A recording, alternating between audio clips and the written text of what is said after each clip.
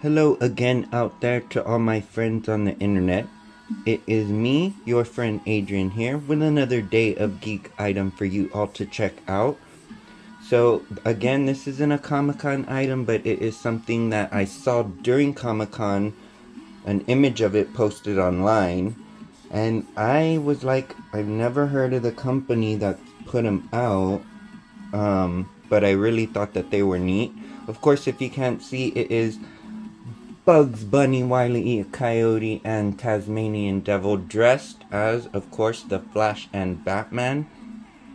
Thought it was super neat that they put this set out because, of course, I do remember seeing the cartoon where he actually bought and wore this suit in the cartoon.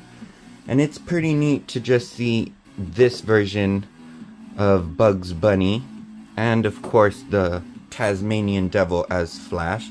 It was put out by, I guess it's um, Head Start. Of course, it is to coincide with the WB 100 anniversary.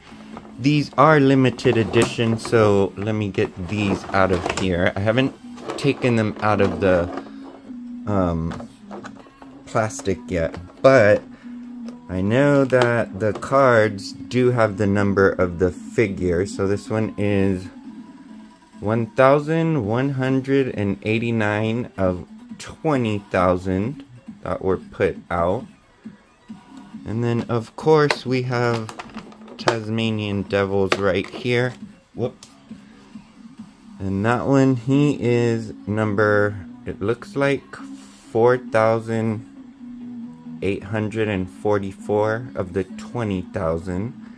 And the last one right there is Wile E. Coyote. That one is 978 of the 20,000. And of course, these are the figures right here. Thought it is super duper cool to see these put out. Because of course I am a big DC Comics fan. And of course I grew up watching Super Friends and Looney Tunes.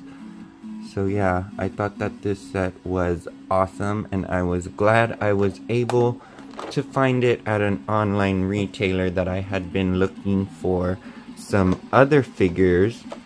They just happen to have this and a couple of other items that I picked up, so I was glad that they had them all just wanted you all to check them out. I hope you are all doing well and taking care on the internet. I, of course, will be back tomorrow with another day of geek item for you all to see. Until then, take care.